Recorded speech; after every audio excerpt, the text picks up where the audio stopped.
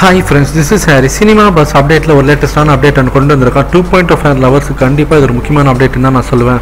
So two point of கூட எப்போ release ஆகும் சொல்லிட்டு டேட் இது வரைக்கும் அஃபிஷியலாக அனௌன்ஸ் பண்ணலாம். ஆனால் இந்த படத்து மீது எனக்கு எதிர்பார்ப்பு பார்த்தீங்கன்னாக்கா விண்ண மட்டும் தான் நான் சொல்லுவேன். ஸோ இந்த படத்தோடைய கிராஃபிக்ஸ் பணிகள் வந்து ரொம்ப டிலே ஆகினே வருதுன்றது ஒரு பக்கம் இருந்தாலும் ஸோ இந்த படத்தோட கிராஃபிக்ஸ் வரைக்கும் இப்போதைக்கு பார்த்தீங்கன்னாக்கா ஒரு எயிட்டி ஃபைவ் பர்சன்டேஜ் வரைக்கும் கம்ப்ளீட் ஆயிடுச்சுன்னு தான் சொல்லணும்.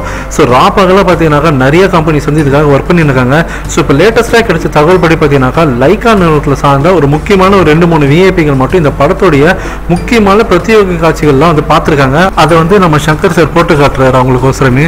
ஸோ அந்த சீன்ஸ் எல்லாம் பார்த்துட்டு ரொம்பவே திருப்தி அடைஞ்சிருக்காங்களா அந்த டீம் ஸோ கண்டிப்பாக இந்த படத்தை வந்து வேற லெவலில் ப்ரொமோட் பண்ணலாம். கண்டிப்பாக அவங்களோட அவுட்புட் நல்லா வந்துருக்குன்னு சொல்லிட்டு அவங்களுக்கு வந்து அவங்களோட கங்கர்ஸை சொல்லியிருக்காங்க. ஸோ அதேமாரி பார்த்தீங்கன்னாக்கா இந்த படத்துடைய ப்ரொமோஷன் பார்த்தீங்கன்னாக்கா மிகப்பெரிய லெவலில் இருக்குன்றதுல எந்த ஒரு ஆச்சரியமும் இல்லை.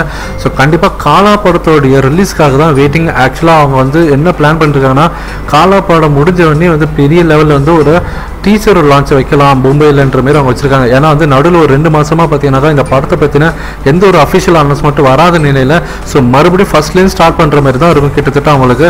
ஸோ பெருசாக வந்து செலிப்ரேட் பண்ணணும் பெருசாக வந்து ஆரம்பிக்கணுன்றது காரணத்தினால மும்பையிலேருந்து ஆரம்பிக்கிறாங்க. கண்டிப்பாக வந்து இந்த படத்தோடைய வசூல் வந்து பெரிய லெவலில் இருக்குன்றது மட்டும் பெருசாக நம்ம வந்து யோசிக்கலாம் கண்டிப்பாக ஏன்னா அந்த அளவுக்கு அந்த அவுட்புட் வந்திருக்கு. ஸோ கண்டிப்பாக டீசர் வரும்போது நமக்கும் தெரியும் இந்த படத்தோடைய எந்த அளவுக்கு கிராண்ட் சக்ஸஸ் ஆக போகுதுன்றது அதுலேயே நமக்கு தெரிஞ்சிடும் ஸோ ஃபேன்ஸ் நீங்கள் கீழே கமெண்ட் பண்ணுங்கள் இந்த படத்தோடைய ரிசல்ட்டுக்காக இந்த படத்தோடைய பாக்ஸ் ஆஃபீஸ் கலெக்ஷனுக்காக நீங்கள் எந்த அளவுக்கு வெயிட் பண்ணுறீங்கன்றதை நீங்கள் கீழே கமெண்ட் பண்ணுங்கள் ஃப்ரெண்ட்ஸ்